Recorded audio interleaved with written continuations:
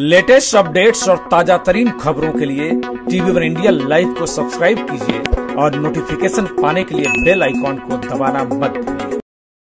Navi Mumbai international airport पर दिबा पाटिल का नाम देने को लेकर राज्य सरकार ने अब तक कोई फैसला नहीं दिया है। इससे नाराज़ प्रकल्पगत संगठनों ने नामकरण के लिए फिर से आंदोलन की तैयारी कर ली है। असल में प्रकल्पग्रस्तों ने बीते 16 अगस्त को एयरपोर्ट का काम बंद करने की चेतावनी दी थी। लेकिन केंद्रीय विमान मंत्रालय की अपील पर आंदोलन कुछ दिनों के लिए रोक लिया गया था।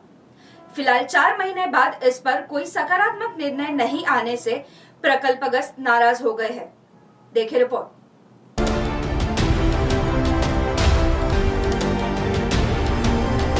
हम लोगों ने पहले से ठान लिया हुआ है सालों से डिमांड किया है कि नवी मुंबई इंटरनेशनल एयरपोर्ट के लिए माननीय हमारे दिवंगत लोक नेता पटेल साहब का नाम दिया जाए। अभी भी टाइम है कि संघर्ष शुरू नहीं हुआ। ये जो साखली हुआ और ये हुआ ना, ये संघर्ष जब शुरू हो जाएगा ना तो वनवा जाएगा। अगर लोकतंत्र है, जनता की सुनना है, जनता के सुन के काम करना है, तब तो उन्होंने फेर विचार करना ही पड़ेगा।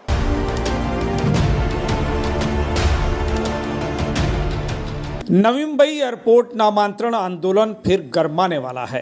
चार महीने पहले दीबा पाटिल एयरपोर्ट नामकरण समन्वय समिति ने केंद्र और राज्य सरकार की अपील पर यह आंदोलन ठप कर दिया था।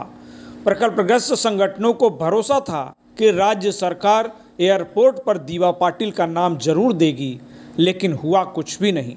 ऐसे में नाराज़ एयरपोर्ट नामकरण समन्वय समिति ने फिर से आंदोलन का ऐलान किया है।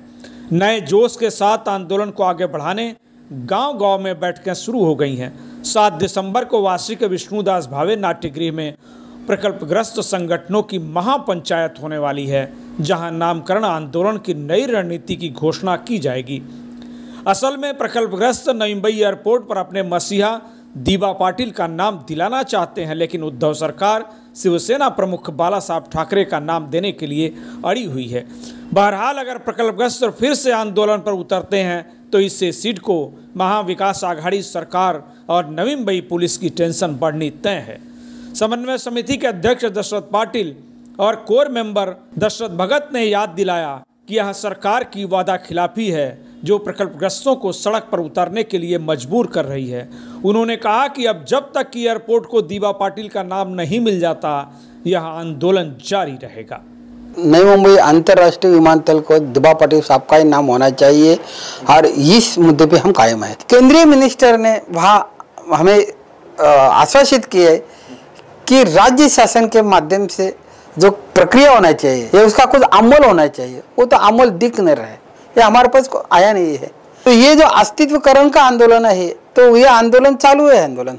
उसकी जन जागृति चालू, उसका संघर्ष चालू है। कि नामकरण होना, वो हमारा अस्तित्व है वो। वो तो नहीं मिटना चाहिए। लेकिन अस्तित्व के साथ साथ हमारे बहुत सारे मसले, सवाल है, प्रश्न है, समस्या है, वो भी साथ साथ चलना चाहिए ऐसे लोगों bureau report, TV one India.